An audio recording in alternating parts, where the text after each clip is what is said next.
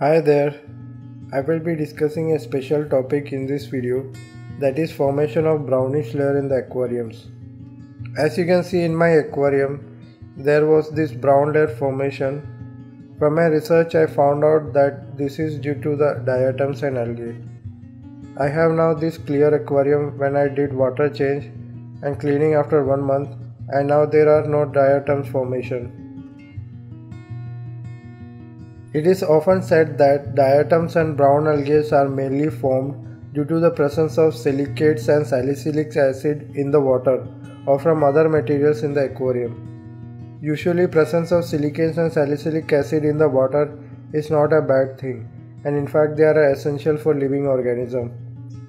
Removal of diatoms or brown algae are not complex and complicated task but you need to pay attention to the factors that leads to the formation of diatoms and algae. First of all, what are diatoms? They are photosynthesizing algae and are found in almost every aquatic environment, including fresh and marine waters, soils, in fact almost anywhere moist. Diatoms are 20 to 200 micron in diameter or length and sometimes they can be up to 2 mm in length. They are also preserved in large quantity and has many economic benefits as they are often used in paints, toothpaste and other applications. For aquarium hobbyists, formation of diatoms is troubling and make the aquarium look very dirty. They can however deal with it by taking proper precautions or the removal of underlying causing elements like silicates and salicylic acids and diatoms. This can be done in two ways. Treating the water before putting into the tank and treating the water that is already in the tank. First, pre-treating the water. Treat the water that you might be going to put into the tank with silicate removing substances like Cristos or other such compounds. Put the silicate removing compound in a sleeve and place it above the bucket. Start pouring the water into the bucket through the sleeve and do it about 5 times and your water for the aquarium will be free of silicates.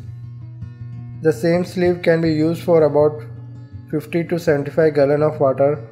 After that Take fresh silicate removing compound into the sleeve and do the same.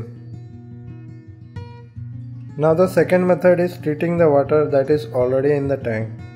That is most common. If the aquarium has already developed the diatom inside its surface, then the best method you can try is cleaning the surface of the aquarium by yourself and treating the water with brown algae removing solutions or the such substances and also reduce the air pump filtration for certain hours during the day and keep the aquarium lights always on uh, for all the hours of the day until you see the diatoms fading away from the aquarium.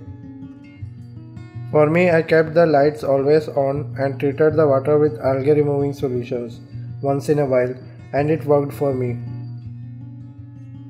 And that's it, you may soon see your aquarium back to your original state with all ugly brown layering being removed.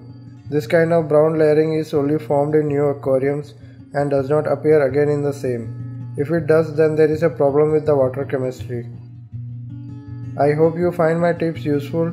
If you have any comments please drop it down in the comment section below. Leave this video a like, share it and subscribe by hitting the red subscribe button to watch my upcoming videos. Also connect me on social networking sites the links to which are in the descriptions.